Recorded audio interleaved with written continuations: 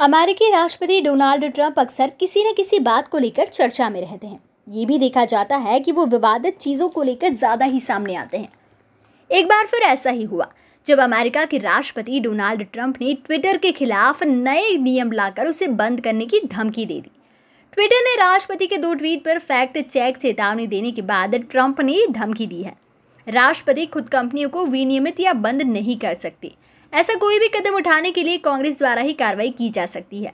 संघीय संचार आयोग के प्रौद्योगिकी कंपनियों को विनियमन करने का अधिकार देने वाले एक प्रस्तावित कार्यकारी आदेश को उनके प्रशासन ने रद्द भी कर दिया है।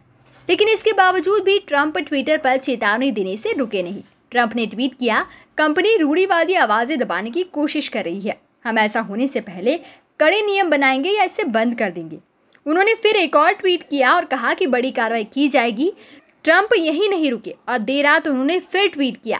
टेक कंपनी पूरी तरह से पागल होती जा रही है, देखते रहिए। एक अन्य ट्वीट में राष्ट्रपति ने कहा कि ट्विटर पूरी तरह से बोलने की आज़ादी का गला घोट रहा है और राष्ट्रपति के तौर पर मैं ये नहीं होने दूँगा। बाद में बुधवार को ट्रंप ने ट्विटर जैसे सोशल मीडिया मंच को बंद करने की धमकी दे डाली। अब अमेरिकी राष्ट्रपति और ट्विटर के बीच ये जंग छिड़ी है जो क्या रंग लाती है, वो तो आने वाला वक्त ही बताएगा। Subscribe our channel and press the bell icon for more updates.